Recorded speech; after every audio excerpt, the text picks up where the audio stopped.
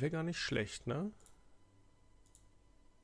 Gibt es hier eine Überlappung zwischen Ohr und Gypsum? Das wäre natürlich gut.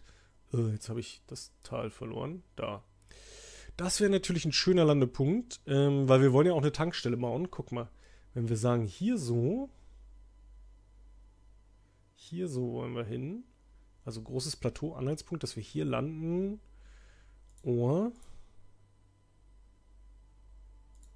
Gypsum. Also Gypsum ist ein bisschen dünn, da muss man dann vielleicht auch wieder so ein Auto nehmen und mal rüberfahren und eine große Ladung holen. Aber hier könnten wir uns versorgen und gleichzeitig Sprit herstellen. Jetzt gucken wir nochmal, ist hier auch noch, wenn jetzt hier auch noch Carbonite ein bisschen vorhanden ist. Boah, Freunde. Hier ist es. Hier ist, hier ist die Antwort auf alles. Jawohl. Carbonite deckt sich natürlich nicht so gut. Ah. Aber Ohr und Carbonite ist an der gleichen Stelle. Und hier sind viele andere Sachen auch noch. Ohr. Ja, das ist es. Das ist die Antwort auf unsere Basisfrage. Wir können dann auch den Berg hier hochalseln. Also hier drin, so in der Ecke, werden wir unsere Basis hinbauen. Ganz dünne Spuren von äh, Dings sind auch zu erkennen. Oh. Rare Metals. Okay. Ganz ehrlich, das, da fangen wir erstmal an. Da fangen wir erstmal an. Mal F5. Norddrache, du guckst noch nicht so lange zu, oder? Lass es dir von den anderen Zuschauern gerne erklären, wie ich zu äh, Quicksaves stehe. So, jetzt brauche ich mal äh, Scansat. Big Map. Mal gucken, ob ich die Stelle identifizieren kann.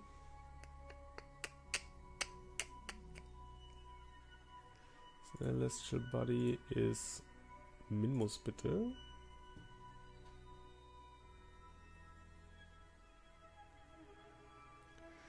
Und Ressource ist in dem Fall, äh, ich gehe mal auf das Ohr los. Na gut, dann gehe ich mal auf das Carbonite los. Äh, ist jetzt hier irgendwie ein Ressourcen-Overlay möglich? Toggle Resources, ja, sehr schön. Okay, jetzt muss ich noch die Stelle finden, wo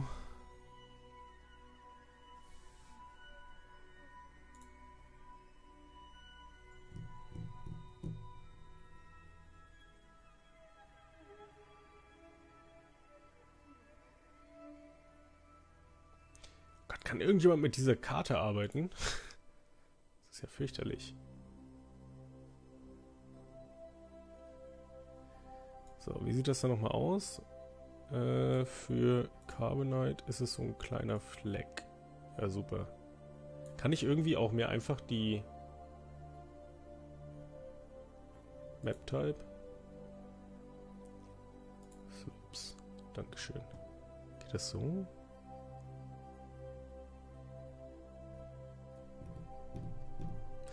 Wisst ihr was? Scheiß auf den Marker. Ich flieg da einfach so hin. Das ist mir zu anstrengend. Blöden Marker setzen. Oh, hier ist aber auch echt schön, ne?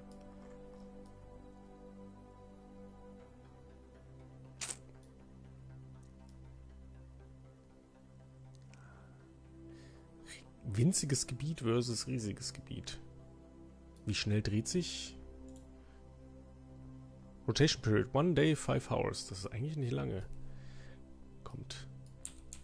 Wir gucken mal, dass wir warten, dass der Part hier in die Sonne kommt.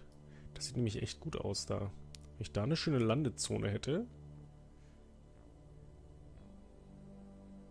Ah, guck mal. In den Seen drin. In den Seen drin. Das ist natürlich richtig schick. Cut-off. Ach, richtig gut. Komm, jetzt sagt, dass er auch noch Gypsum ist. Verdammt. Wusste, dass es irgendeinen Haken haben muss. Gypsum ist er natürlich nicht. Aber wir können uns dann einen kleinen Transporter bauen, ehrlich gesagt. Hier ist halt richtig was geboten, ne? Ja, kommt, wir können einen kleinen Transporter machen. Auf Minmus ist das alles egal. Da fliegen wir mit einem kleinen Raumschiff hin und her und holen uns einfach mit dem Drill die Sachen. Das passt. Das passt. Aber hier ist halt eine echt hohe... Also primär geht es halt darum, dass wir hier ähm, Treibstoff herstellen wollen. Hier gibt es sowohl Carbonite als auch Ohr in echt hohen Konzentrationen. Meine Güte, ich habe das Ohr angeklickt. Gibt es noch irgendwo anders Ohr in solch hoher Konzentration? Ne, es ist die höchste Konzentration an Ohr. Okay, wisst ihr was? Dann landen wir da. Und zwar jetzt.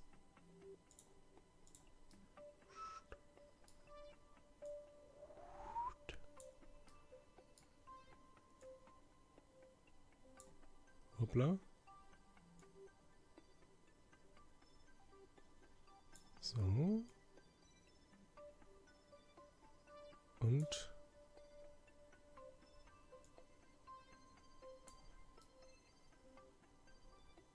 so ungefähr. Wir müssen dann eh noch bremsen. Gut, 52 Sekunden für 3 Sekunden. Äh, Habe ich schon mein Triebwerk auf 10% runtergeregelt? Ja. Gut, gut, gut. Wir gehen los in Richtung Landezone für unseren Rover. Mal gucken, wie das so funktioniert. Oder ob das so funktioniert, wie ich mir das gedacht habe. Bisschen näher ran noch für das Manöver. Und Feuer frei. Ja, wie gesagt, viel, viel werden wir nicht brauchen dafür. An Delta Vs.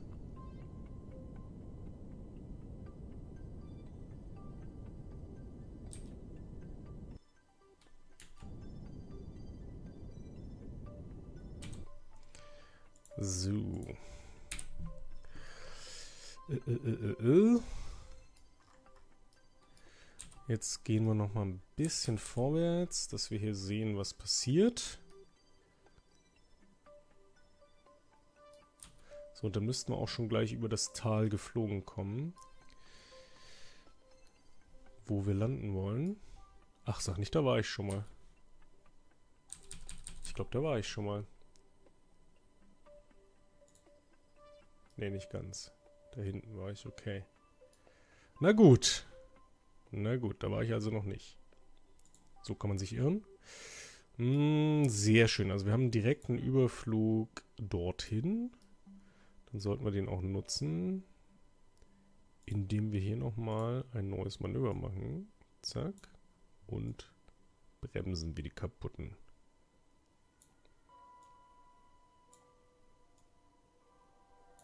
So ungefähr. So, 109 drastische Delta V. Ach Gott, da ist noch immer ein Triebwerk dazwischen, ne? Echt fürchterlich. Echt fürchterlich.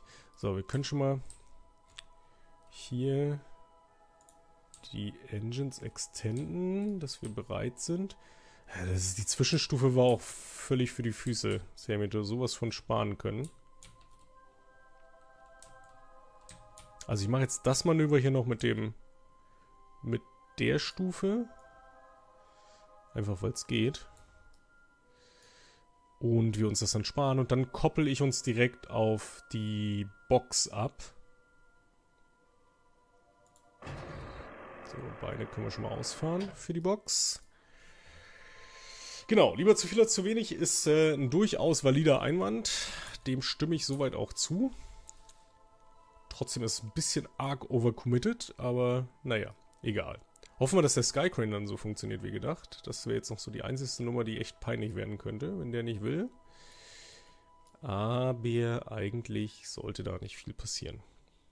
So. Höhe noch 5800. Das sollte jetzt gleich ein bisschen steigen, weil wir über diesen Hubbel rüberkommen. Ja, oder doch, wir sinken doch schneller als gedacht. So, jetzt das Korrekturmanöver.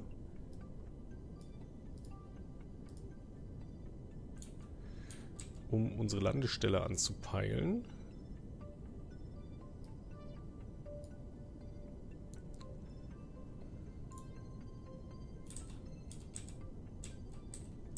Also, unsere Vertical Velocity ist auch sage und schreibe 17 Meter noch sinkend übrigens. Also wir kommen auch sehr langsam runter nur. Da ist auch schon unser Schatten zu erkennen. Ja, jetzt wird's mal spannend, so eine kleine Rover-Box zu landen und den Rover da rauszufahren. Zack, aus. So, wo sind wir? Relativ gut mittig, sehr schön. Okay, dann hauen wir das jetzt hier weg. Houston, uh, Tranquility Base here. The Eagle has landed. Einen kleinen Tick zu früh, Demon, aber vielen lieben Dank an Demon1333 für die Subscription und äh, taktischer Tipp fürs nächste Mal direkt nach der Landung machen. Kommt noch viel besser rüber. Aber vielen lieben Dank für dein Abo. So, weg damit. Das braucht keiner mehr. Fuck, das gibt's nicht, oder? Was ist hier los? Ich will das nicht. Ich möchte das nicht. Warum? Diese komischen... Ah, dieses blöde Stack-Ding. Und diesmal habe ich natürlich keine Besatzung, um das irgendwie korrigieren zu können. Das ist ja scheiße. Was machen wir denn da jetzt? Wie kommen wir denn von da nach da unten?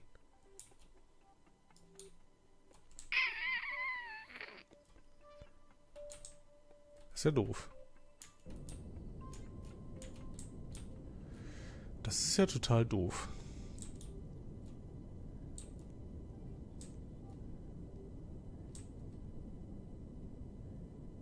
Ja, ich könnte natürlich versuchen, die Impact Tolerance äh, zu überschreiten.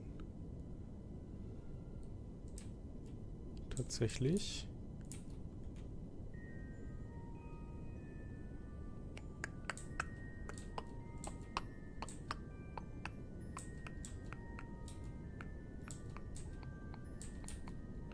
Wahrscheinlich den anderen Decoupler zuerst machen müssen. Damit ich ihn losgeworden wäre.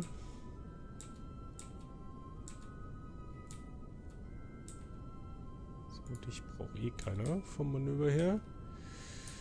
So, jetzt bremsen wir mal das hier noch ein bisschen weg, dass wir keine große seitliche Bewegung haben, sondern wirklich sehr, sehr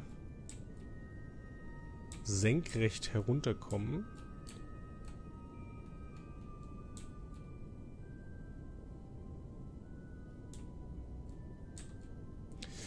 Also ich denke mal mit so 20 Metern pro Sekunde, das sollte reichen, um uns den Antrieb abzuschlagen, aber uns wieder hoch zu katapultieren und nicht umzubringen.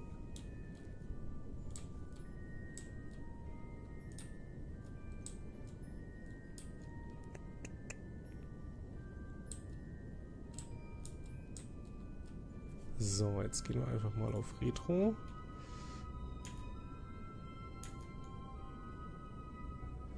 Passen ein wenig auf, dass das hier nicht zu viel wird.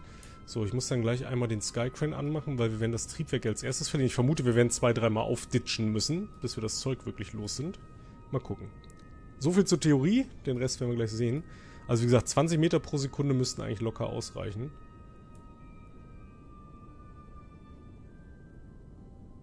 Um Aufschlag zu erzeugen. So, jetzt haben wir hier genug aufgebaut. Was ist hier los? Achso.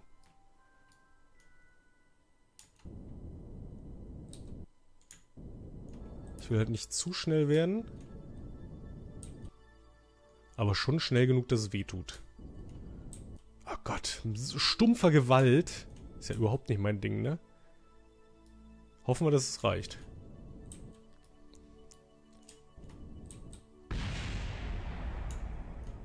Okay, jetzt einmal wieder nach oben.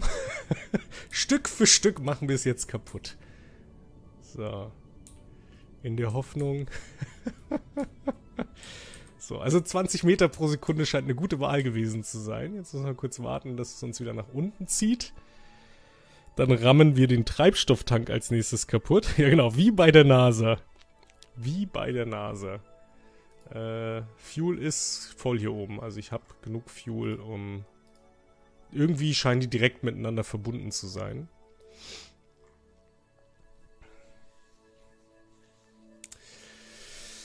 So, meine neue Erfindung, der Space-Hüpfer. Äh, das äh, nennt sich, ist sogenanntes Lito-Decoupeln. Da wird am Planeten gedecoupled oder am Himmelskörper. So, schauen wir mal. Ja, eigentlich, eigentlich ganz gut. 9 Meter. 12 Meter, ja, wir kriegen gut Geschwindigkeit nochmal drauf. Das passt. Das sollte reichen, um uns auch davon zu befreien. Ja, schön frontal aufsetzen. Gute 16 Meter. Wow, wow, wow, wow, wow, wow, wow. Wow, nicht die Kontrolle verlieren. Sehr schön. Okay. Sehr schön, sehr schön, sehr schön. Kurz mal warten. Wir müssen eh wieder Höhe gewinnen. Okay. Es wird kritischer. Von den Aufschlägen her. Wir haben jetzt ziemlich viel Seitenbewegung. Die muss ich mal rausnehmen. So, ich möchte noch ein bisschen nach oben. Okay, jetzt haben wir wenig Seitenbewegung. Das ist gut. Gut, gut, gut, gut, gut, gut, gut. Also jetzt nochmal dritter Aufschlag, um das letzte Stück da wegzubekommen. Wenn das auch noch hinhaut, dann sind wir landebereit. Nach drei Lito-Stagings. Dieser, äh, ich äh, könnte übrigens davon ausgehen, dass dieser Begriff jetzt schon patentrechtlich eingereicht worden ist.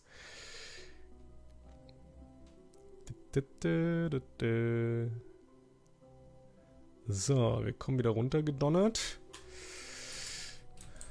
Mal gucken. Wir durchschlagen auf jeden Fall deutlich die 10 Meter und ich denke mal, wir werden auch wieder auf die 15, 16 Meter pro Sekunde kommen damit. Hoffen wir, dass es reicht. Letzten 100 Meter Schwung nehmen. Und, und, und, bitte, bitte, bitte, geh kaputt. Jawohl. Ah, shit, die Antenne ist abgefallen. Aber war wohl nicht, war wohl keine tragende Antenne. Und der Probe-Core scheint auch noch nicht wichtig gewesen zu sein. da, there goes my Probe Core. Also offensichtlich hing es an dem Probe Core dran. Muss ja, wenn der jetzt weggetüdelt ist. Verrückt. Hing am Probe Core. Na gut. So, jetzt Landung. Oh, 24er Dings. Wir werden mal den Trust Limiter irgendwie auf was Sinnvolles stellen. So. Ganz langsam. Vorsichtig. Vorsichtig vorsichtig und stopp. Hopp. Einen kleinen Sprung, aber den lassen wir jetzt absetzen. Und wir sind nach einigen Schwierigkeiten offiziell auf Minmus gelandet und können jetzt mal diesen blöden Skycrane noch entsorgen. Ähm, den braucht nämlich eigentlich keiner. Obwohl, wir könnten den Rover später... Ne, wir können ihn nicht wieder andocken. Ich kann ihn nicht umziehen. Ich guck mal kurz, ob wir die Stelle gut getroffen haben. Ah, hervorragend. Alles gut. Alles gut, das heißt, wir entsorgen jetzt noch den Sky Crane. Ah nee, warte mal. Doch, kann ich. Ich muss ihn nur vorher auf Schub stellen. Warte mal, oh, das wird jetzt ein bisschen hässlich. Äh, zack. Shit, was ist los? Kein Strom mehr? Doch. SAS disengaged? Was will er von mir? Ne, alles gut. Okay, also 2, 1. So. Wunderschön. Der Sky Crane entfernt sich langsam von uns und wird uns hoffentlich auch nicht auf den Kopf fallen, früher oder später. Okay, da hätte man vielleicht ein bisschen mehr Schub geben können. Muss man aber nicht. Schön. Also hat schon, hat schon was, äh, wie soll ich das sagen? Hat schon optisch was Schönes. Gut. Also, unsere Relay-Station steht auch. Das heißt, theoretisch habe ich jetzt hier drüber Relay zu Kerbin. Das ist mein Omni-Relay und mein Probecore hat auch nochmal eine Omni-Antenne. Das heißt, ich müsste weit genug rausfahren können, wenn ich mich abkoppel, dass ich äh, meine Antenne aufklappen kann. Drückt man die Daumen.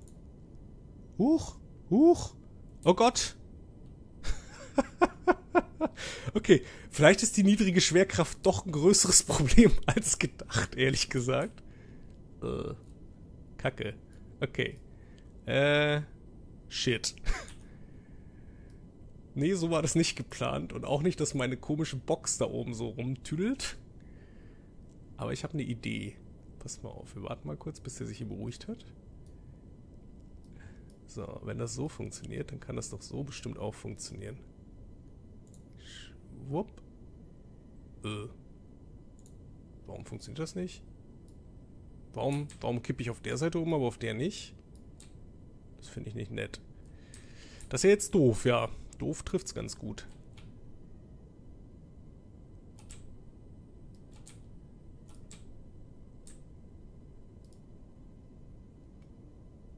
Meine Vermutung wäre ja, dass man sich mit der Antenne irgendwie hochkatapultieren kann, aber irgendwie sieht das die Antenne nicht so.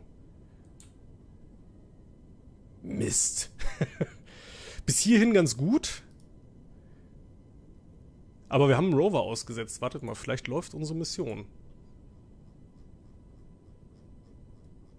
Da stand nichts, dass er fahren muss. Vessel Type Rover. Das müssen wir jetzt noch einstellen. Zack. Rename Vessel. Rover. Accept. Wir surveyen mal ein bisschen, um den Auftrag zu erfüllen. Es gab da kleinere, kleinere Schwierigkeiten, sage ich jetzt mal, aber so im Großen und Ganzen ist das natürlich super. Äh, ja, ja. Hm, hm. survey, survey, all the things. Komisch, dass der nicht. Ah, ärgerlich.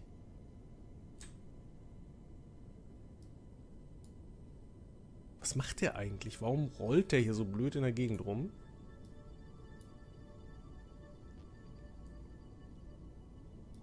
Kann er nicht einfach mal liegen bleiben, wie er sich wegrobbt? Wo ist eigentlich mein... Der kommt auch nicht mehr runter. Die Box.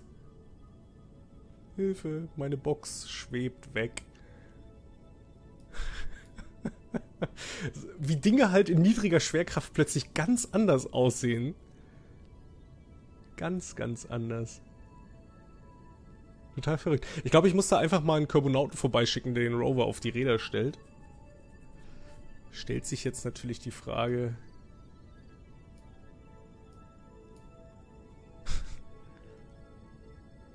die Box schwebt langsam davon.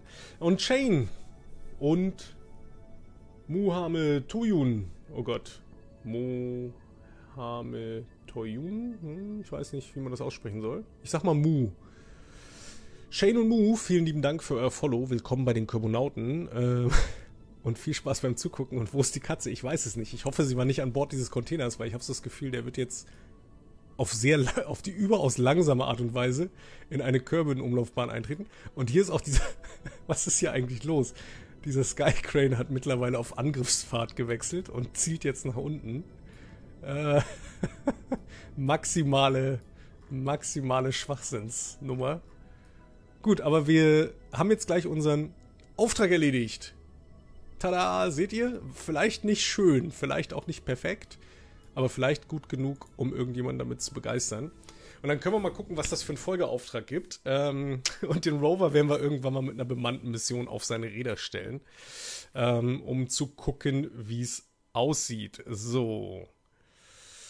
Erste Prognosen werden da gepostet. Werden wir mal sehen, wie es dann wirklich ausgeht. Ich werde jetzt mal einmal in die Missions reingucken, was es gibt, und dann gucken wir einmal ganz kurz zur Moonbase Bravo, wie es da mit dem Essen aussieht.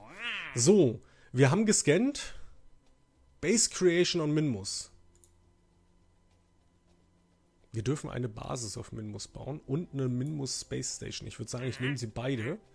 Die machen nämlich beide Bock. Also, wir nehmen auf jeden Fall die Basis an. Was, was wackelt hier mal her? Hin und her. So, und wir nehmen auch die Minmus Space Station an. Was passiert hier? Minmus Space Station und gucken uns später an, was das genau bedeutet, was wir jetzt angenommen haben. Und jetzt geht es noch einmal zu Moonbase Bravo, bevor wir für heute den Dienst erstmal einstellen. Und wie gesagt, ich werde später nochmal im Discord vorbeischneiden, auf jeden Fall einen Status geben, ob es heute Abend einen Stream geben wird oder nicht. Ich glaube, es wird bei der Tech on Mars Idee bleiben und alle, die da mehr oder tieferes Interesse noch dran haben, kommt einfach im Discord vorbei, Ausrufezeichen Discord, um euch um euch den Link geben zu lassen und dann schauen wir mal. So, jetzt großer Trommelwirbel. Wie gut ist unsere Lebensmittelproduktion aufgestellt? Ich hoffe natürlich gigantisch. Ich hoffe, alle haben fleißig die Toilette benutzt, denn Mulch ist es, der, an dem es uns mangelt. Mulch, Mulch, Mulch. Mulch.